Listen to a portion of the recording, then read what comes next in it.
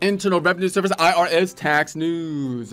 Dirty dozen. Scammers use every trick in their communication arsenal to steal your identity, personal financial information, money, and more. And wow, how many tricks do those scammers have up in their arsenal? Well, at least a dirty dozen. The Dirty Dozen. Sounds familiar. Isn't that the name of that donut shop? Yeah, the donut shop across the street, they attract customers with the baker's dozen, but we, we provide the people with the dirty dozen donuts. Donuts dumped in the deep fryer, filled with equal parts six month old bacon grease and dirty motor oil. Once fried to a hot, sticky mess, the dirty dozen donuts are flung from the fryer directly to the dirt, where they sit, marinating in the dank, damp dark until pickup. Wow, that sounds like horrible customer service. Honestly, is that donut shop run by the IRS? IR 2022-121 June 8, 2022 Washington. Suspicious communications in all its forms designed to either trick, surprise, or scare someone into responding before thinking is number 7 on the 2022 quote dirty dozen in quote scams. So donut number 7 on the dirty dozen donuts that's like that rancid jelly filled donut that we're worrying about here. It's on their warning list for the IRS, the Internal Revenue Service announced today, warning everyone to be on the lookout for bogus calls, texts, emails, posts online to gain trust or steal. So obviously this would include some of that phishing stuff that we're familiar with, but because of the changing of the landscape, with new technologies out there and then the laws changing and us dealing with responses to the pandemic, that's going to cause more people to be in a situation where they're more likely to be responding to some of these kind of uh, methods that we're familiar with.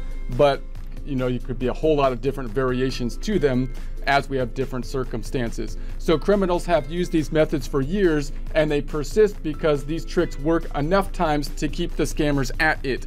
So obviously some of these tricks you can think of as the shotgun kind of approach where they're basically going to send a whole lot of stuff out and because there's changes to the laws and uncertainty that is happening then all they need is to is to have a few people that will will take up these kind of shotgun approach methods in order to possibly make that a profitable thing. Or you could have more targeted email kind of scams where they can't basically hit as many people, but they can get quite creative if they're going after, say, one individual and trying to gain trust from one individual's with scammy kind of stuff. So victims are tricked into providing sensitive personal information, money, or other information. This can be used to file false tax returns and tap into financial accounts, among other scam, uh, schemes. So obviously the tax returns are a big incentive these days. So if you can get, if they can get the personal information to do stuff like file the tax returns, or if there was unemployment kind of stuff that they can file for and that kind of stuff, it's becoming uh, more valuable because of the changes in the laws because you've got a lot of lot more stuff especially on the low income side of things with the refundable credits and therefore that kind of identity theft is going to become more attractive to to scammers. So quote if you are surprised if you are surprised or scared by a call or text it's likely a scam to proceed with extreme caution uh, said commissioner Chuck Rettig so clearly, when you're thinking about these kind of things, there's usually going to be some kind of call to action that they're going to want, and there's going to be some kind of threat, which could just simply be a timing thing. They might say, "Well, you got a refund" or something like that, or we, the mon- the government's giving out a bunch more money. You may not have heard about it, but we're giving out money, and you have to respond like right now, which obviously is a timing threat, or you can have actual negative threats, which would be, of course, you know, do this now, or the IRS is going to come to your door uh, like in the next five seconds or something like that. Anything that has that kind of kind of setup, uh, which is designed to have a panic in you to trigger a panic response so that you give the information or click on whatever link immediately is usually someone that's you know not being not being kind, right? Trying to do something scammy. So, quote, I urge everyone to verify suspicious email or other communication uh, independently of the message in question, end quote. So, obviously, if you're in a panic situation, then you want to fix it fast. So, you click on the link, you go to the website, you try to handle whatever problem that someone says that you have or that they have or whatever. But it's best, of course, if you were to put the put that down and then go to the IRS website, possibly directly if it has something to do with the IRS, for example, and say, "Oh, is there a 25th stimulus payment that they just sent out like this week, or is that just this email that's just making stuff up or something like that, and then and then check it out from the source, even though that takes longer. The IRS has compiled the annual Dirty Dozen list for more than 20 years as a way of alerting taxpayers and the tax professional community about scams and schemes. The list is not a legal document or a literal listing of agency enforcement priorities. It is designed to raise awareness among a variety of audiences that may not always be aware of developments involving tax administration. As part of the Security Summit, oh, here we go with the Security Summit. They're just like the Justice League, kind of, but and they come in and save the world. So, as part of the Security Summit effort with the states and the nation's tax industry, the IRS has made great strides in preventing and reducing tax related identity theft, but it remains a serious threat to taxpayers and tax professionals, probably because Lex Luthor's got into the tax scamming game of things, and the Security Summit has to respond who don't adequately protect social security numbers. So obviously social security numbers are a target because those are the things that could possibly be used to file tax returns and do other kind of stuff and possibly then try to get access to this increase in money that is there due to the fact that we have more of these kind of refundable credits. And clearly the social security number system is kind of antiquated these days because obviously we've got one social security number that we've been giving to you know we, we've been probably trying to memorize it on the grade on our at grade school by repeating it to ourselves and everybody at that point in time. Then we gave it to every financial institution and everybody that we worked with and so on. So uh, it'd be nice i'm not i'm not saying that we should go to some high-tech thing or a chip in our forehead or something but maybe you know we should be changing the social security number every once in a while or something. I don't know. It seems like that number could be compromised for many people. so, anyways, another personal information. For example, criminals uh, can quickly file a fake tax return using a stolen social security number in the hope that it has not already applied on another filed return. And that's, of course, an attempt to, to tap in to some of these refundable credits. So even if they have a very low income or something like that, they might try to they might try to get some refund for it, even though there's no withholdings or anything that's being reported, for example. So people frequently don't know they are a victim of identity theft until they are notified by the IRS of a possible issue with their tax return or the return is rejected because the SSN social security number appears on the return already filed. So you try to file your tax return, and the IRS says, "No, someone you already filed. Someone that who was you already filed." It's like, "Well, that wasn't me, but it looked like you because you're a number, and we have that number already." And you know, so that's how it goes. So here are some common scams the IRS continues to see. Taxpayers should uh, take extra caution with these schemes which continue to evolve and change. So we got the text message scams. These scams uh, are sent to taxpayers' smartphones and can uh, reference things like COVID-19 and or stimulus payments. So again, the stimulus payments, the response to the stimulus payments, that was something we've not seen before. Changes to the tax law make people think, well, maybe the tax, maybe the IRS is doing something crazy again, it's crazy new thing. And so they don't usually text message you, uh, however, but obviously when people are checking their text messages while they're driving or on a roller coaster or something like that, you, you might be more likely to try to just respond to it at that point in time. So these messages often contain bogus links claiming uh, to be IRS websites or other online tools. Other than IRS secure access, the IRS does not use text messages to discuss personal tax issues such as those involving bills or refunds. The IRS also will not send taxpayers messages via social media. So if you get if you get a tweet or if you get a face message, I got a face message from the IR, the IRS auditor met me in the metaverse.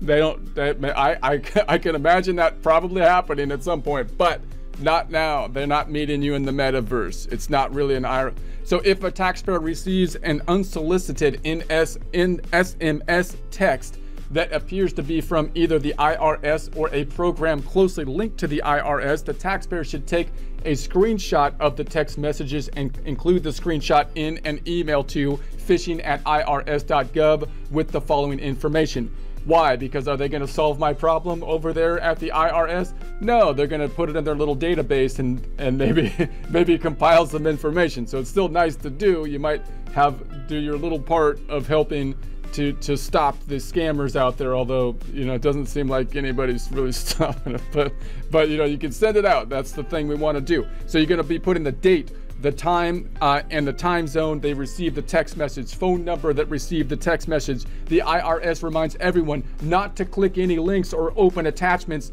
in unsolicited, suspicious, or un- un- unexpected text messages, whether from the IRS, state agencies, or others in the tax community. I just turned the phone off completely.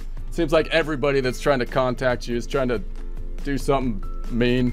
Any case, email phishing scams is the next on the list. The IRS does not initiate contact with taxpayers by email to request personal or financial information. So you got the good old email. They're not texting you, they're not doing the super fancy new thing. They're just sending out the good old phishing email. The IRS doesn't the IRS is more antiquated than that. They don't even contact people with emails still. They're back in snail mail days. So so so if you, if it's not from the snail mail, then it might not be from the IRS. The IRS initiates most contacts through regular mail. If a taxpayer receives an unsolicited fraudulent email that appears to be from either the IRS or a program closely linked to the IRS, report it by sending the email as an attachment to the phishing at irs.gov. Why are they going to help me out with my problem? Are they going to stop the email? No, they're not going to. They're going to put it in their little database program. So, but you're going to do your part. You're doing your part by doing that, and so it's important. The report the phishing online scams page, so you can report it here. There's a link to that on irs.gov. irs.gov provides complete details. Phone scams, we got the phone scams. The IRS does not leave pre recorded urgent or threatening messages. So if someone says, This is the IRS, we are outside your house right now. If you don't send what money to this gift card account number, then we're gonna attack or something. That that's not what they typically do on on the phone scams. Usually they send a letter. Again, it's usually like snail mail, slow rolling bureaucratic agency hitting you with the stick of penalties and interest and, until you're unaware until you finally realize that things have gotten crazy with penalties and interest and whatever. And many variations of the phone scam, victims are told if they do not call back, a warrant will be issued for their arrest. Other verbal threats include law enforcement agency intervention, department, or a revocation of licenses. We've got the SWAT team right outside your house right now. If you don't send the past due amount, that's not really how it works. You criminals can fake or quote spoof quote end quote caller ID numbers to appear to be uh, anywhere in the country, including from an IRS office. So they can say, well, check my authentication. This phone message is coming directly from an IRS office. The one that's kind of funny is when they say, check the identification. This phone message is coming from you because, and that means I hacked into your system or something like that. And you're like, no way they hacked into the system and now they're, I don't know.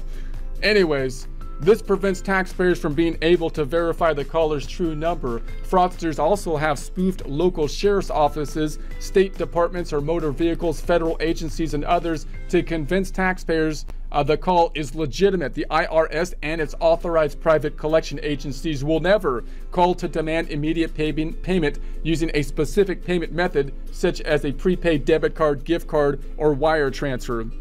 I still love the gift card thing. The SWAT team is outside your house. Please send the money to this gift card, says the IRS. The IRS doesn't make you send money to a gift card. That's that's weird. They don't do that.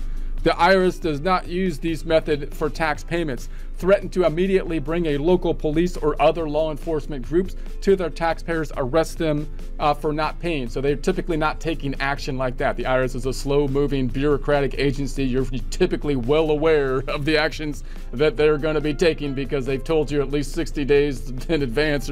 So demand uh, that taxes, and they tell you by letter typically. So, but in any case, demand that taxes be paid without giving the taxpayer the opportunity to question or appeal the amount owed. So they're not just going to be like, well, I don't owe the taxes because you know they're not. They, you have the right to basically say the, you know to to appeal the decision. Ask for credit or debit card number over the phone. So they're not going to ask for that information over the phone. They don't do that kind of stuff. Generally, the IRS will first mail a bill to uh, any taxpayer who owes taxes. All tax payments should only be made uh, payable to the U.S. Treasury, and checks should never be made payable to third parties. So it's like, just make the check out to John Smith and then I'll give it to the IRS because I'm the agent. You know, no, no, that's not how you, I, I, I pay the government directly to the Treasury.